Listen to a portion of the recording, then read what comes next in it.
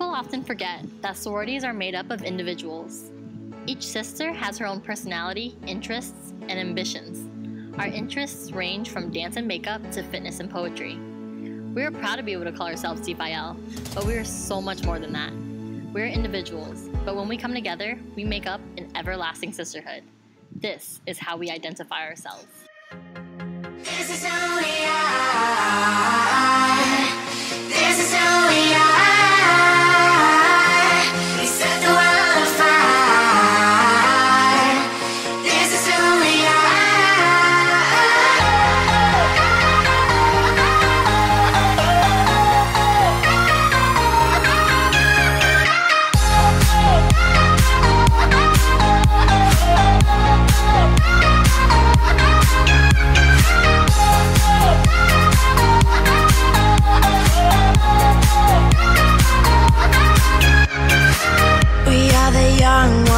Drifting away. Our souls somewhere on the higher line.